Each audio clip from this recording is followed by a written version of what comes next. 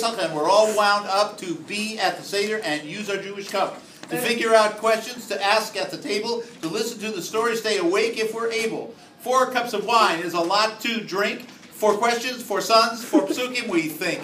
To tell the story of Yitzias Mitzrayim, for the singing at the end of who's, and who's excited. I am. Echad is who knows one. Chad Gadya is a little lamb is fun. We'll sing so loud that the place will shake. We'll keep all of the neighbors awake. Open the door, check out the full moon, and then we'll yell and shout and Shake the room! Boom! Let's shake the room! Boom! Let's shake the room! Boom! Let's shake the room! Boom! Boom! Boom! Boom!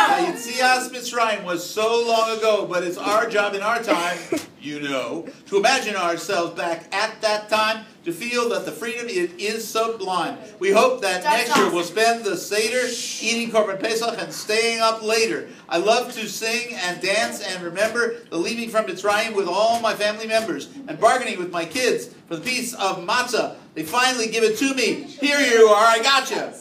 The night is done, and we all fall asleep. The house is so quiet that we don't hear a peep. Until tomorrow, when we do it once more. So, water, four cups, three matzahs, maror. as the army of Paroh will meet their doom, we sing, we shout, we shake, shake the room. Boom! Let's shake the room. Boom! Let's shake the room. Boom! Let's shake the room.